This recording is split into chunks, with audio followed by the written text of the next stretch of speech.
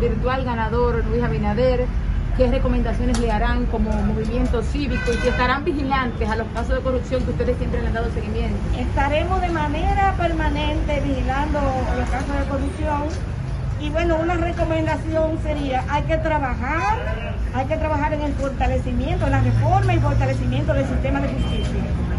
Y también del, del, sistema electoral. Eh, si bien es cierto que el día de las elecciones eh, estuvo tranquilo, como siempre pasa, el pueblo dominicano se comporta a la altura. La, la campaña deja mucho que desear en términos de avances.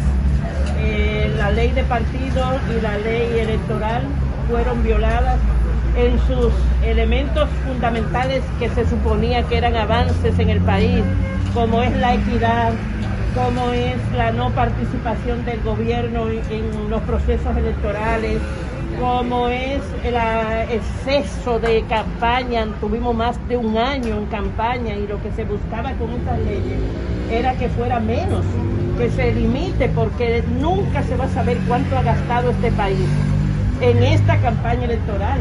Eso, es un, gasto que ustedes lo han visto, demasiado excesivo. Y nunca se va a saber quién financió eso, porque hay mucha opacidad respecto al financiamiento de esas campañas tan largas. De manera que nosotros vamos a estar insistiendo con tiempo, como insistimos, pero no nos hicieron caso, porque aun cuando se aprobaron algunas eh, limitaciones en las leyes, esas limitaciones no fueron cumplidas.